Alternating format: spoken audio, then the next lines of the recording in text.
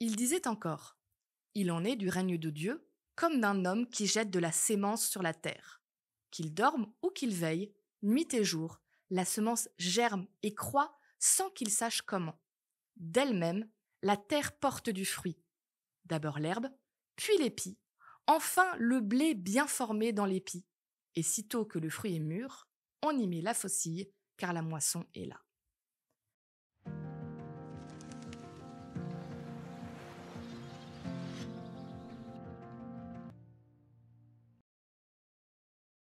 Je n'ai pas la main verte.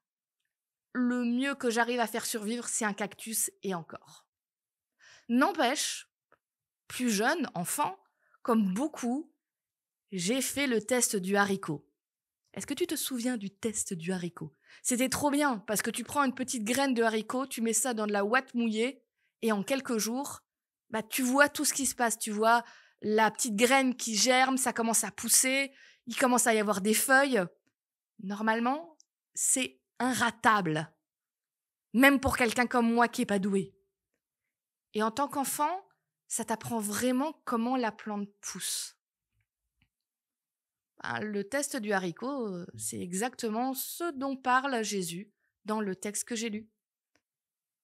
Logique, Jésus, il parle à des gens qui étaient très souvent agriculteurs, en tout cas proches de la nature, donc bon, les plantes qui germent, ils connaissent. On va pas dire que c'est une nouvelle révolutionnaire pour eux. Bah, du coup, ça sert à quoi que Jésus leur dise ça? Ils le savent comment ça marche une plante. Ben justement, quand tu parles à des gens d'un sujet qu'ils connaissent bien, ils voient tous les petits sous-entendus. Et pour les gens un petit peu plus doués que moi et qui aiment le jardinage, ben ils le savent. Une plante, tu peux pas la forcer à aller plus vite. Oui, ça se fait tout seul, même si le jardinier, euh, il arrose, il enlève les mauvaises herbes, il s'en occupe. Mais le processus, il se fait. Et si tu espères que des tomates, des carottes, des oignons et des patates soient à la même rapidité pour grandir et porter des légumes ou des fruits, et t'es mal barré. Du coup, pourquoi est-ce que ça, on peut l'entendre au niveau des fruits, des légumes, des fleurs, mais pas des êtres humains? C'est pas pour rien que Dieu nous compare dans notre foi à des plantes qui poussent. De la même façon que euh, une tomate pousse pas comme une pomme de terre, je ne grandis pas de la même façon et au même rythme que toi qui regarde. Et c'est pas grave.